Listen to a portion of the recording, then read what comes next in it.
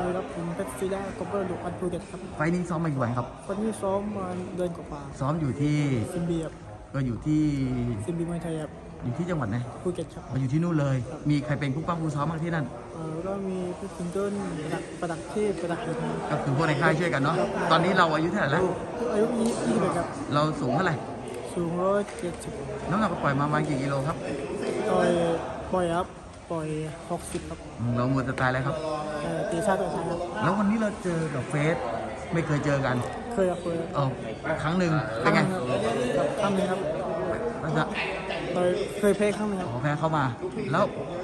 อย่างวันนี้เราเจอเขาคิดว่าเขาเป็นมวยสไตล์เลยเอ่อก็เหมือนกันตีชาติต่อยชาติคอืรับมแล้ววันนี้เราจะวางเกมวางแผนไง ก็ต่อยตามเกมครับตามสไตล์เราเลยเนาะเราต่อยมวยมารู้ทั้งหมดนี้กี่ไฟล์แล้วครับประมาณที่ต่อยมาจำได้ครับเป็นร้อยถึงไหม เราเป็นจังหวัดอะไรครับอยู่ระนองครับฝากเชิญชวนแฟนคลับเราวันนี้หน่อยก็วันนี้ก็ช่วยให้แฟนมวยทุกคนช่วยช่วยผมนะครับนี่ทำเต็มที่ครับชนะแน่นอนครับโอเคขอบคุณมากน้องชายครับ